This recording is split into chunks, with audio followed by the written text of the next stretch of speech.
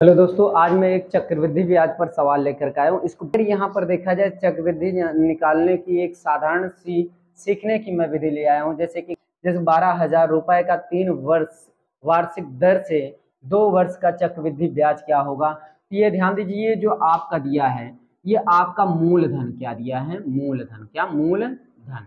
मूलधन कितना दिया है बेटा आप मूलधन को हमेशा सदैव पी से डिनोट करते हैं बेटा। बारह बारह हज़ार दिया है, राइट? कितना दिया? बारह हज़ार। मतलब परसेंट का अर्थ क्या है? आर कितना परसेंट दिया? तीन। इतनी बात क्लियर इतनी बात क्लियर अब इतना हो गया राइट अब ध्यान दीजिएगा। और यहाँ पर कितना वर्ष दिया है? तीन वर्ष दो वर्ष दिया है राइट दो वर्ष। और मूलधन इज़ इक्वल टू होता है, मिश्र धन। इज़ इक्वल टू होता है, बेटा। हाँ ये शेड्यूल करते हैं, ये P one plus R by hundred के पावर एन राइट ये अब यहाँ पर देखो बेटा पी का मान कितना है? बारह हज़ार बारह हज़ार रख दो बेटा, बारह हज़ार हो गया। वन प्लस आर का मान कितना दिया है? तीन। यन का मान कितना सॉरी हंड्रेड है हंड्रेड रख दो। यन का मान कितना दिया है? दो दो रख दो। देखो, बारह हज़ार है, बारह हज़ार रखो। राइट अब इसका एल्सियम सौ आएगा, सौ यहाँ चला गया, सौ यानी कि एक सौ तीन। एक सौ तीन बटा कितना हो जाएगा? सौ। घात क्या है? दो। और इसको ओपन कर दो। बारह हज़ार है, बारह हज़ार को बारह हज़ार रखो, इसको दो बार रिपीट कर दो। एक सौ तीन बटा सौ इंटू एक सौ तीन बटा सौ।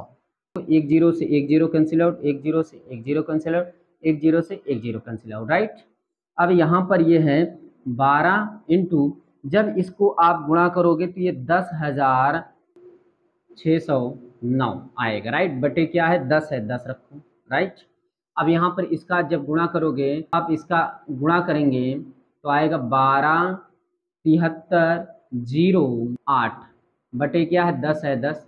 इसको इसको कितने ज़ीरो एक, उतने अंकों बाद क्या हो जाएगा? दशमलव लग जाएगा। बारह, तिहत्तर, ज़ीरो, दशमलव आठ। ये आपका क्या मिल गया बेटा? ये आपका ए मिल गया राइट हम जिसको कहते हैं मिश्र धन। अब यहाँ पर क्या पूछ रहा है? लास्ट में चक्रवृद्धि ब्याज। और चक्रवृद्धि ब्याज बराबर चक्र वृद्धि ब्याज इज़ इक्वल टू ब्याज मिश्र धन मिश्र धन माइनस मूलधन, राइट? ये आपका मिश्र धन कितना है? मिश्र धन कितना है बेटा? बारह हज़ार। ये आपका मिश्र धन है, बारह हज़ार सात सौ तीस दशमलव आठ माइनस मूलधन कितना है बेटा? मूलधन आपका कितना है? बारह हज़ार। बारह हज़ार है, बारह हज़ार रख दो। देखो, यहाँ पर दशमलव है तो इस दशमलव लगा ले बेटा, ऐसे। आठ में से ज़ीरो गया, आठ आएगा, राइट? दशमलव है, दशमलव सेम अंकों बाद देखो, यहाँ पर ज़ीरो में ज़ीरो गया, ज़ीरो, राइट? यहाँ पर तीन में से ज़ीरो गया, तीन आएगा राइट सात में से ज़ीरो गया, क्या होगा? सात आएगा राइट अब यहाँ पे दो में से दो गया, ज़ीरो, दो में से दो गया, ज़ीरो।